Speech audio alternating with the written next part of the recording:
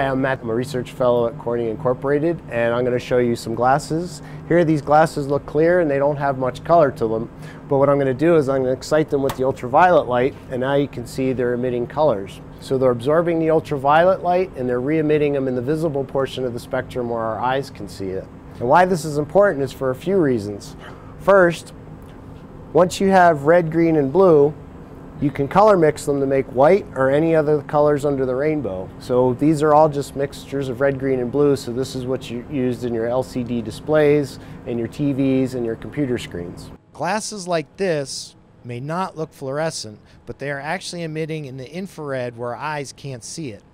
It turns out that glass is most transparent in the infrared, so that is where fiber optic networks operate.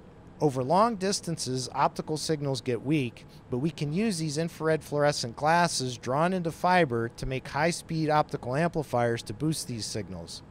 These amplifiers increase the reach and capacity of telecommunications and helped enable the internet.